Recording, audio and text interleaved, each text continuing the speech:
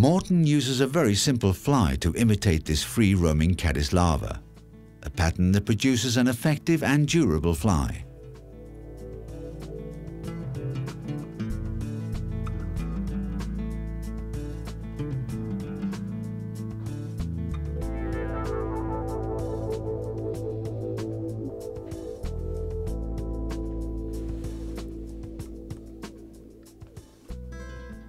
Tie in a standard nylon monofilament for the rib.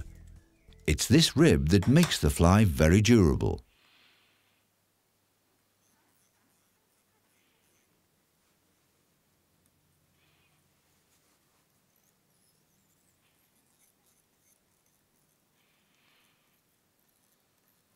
The back of the fly is made from olive flexibody.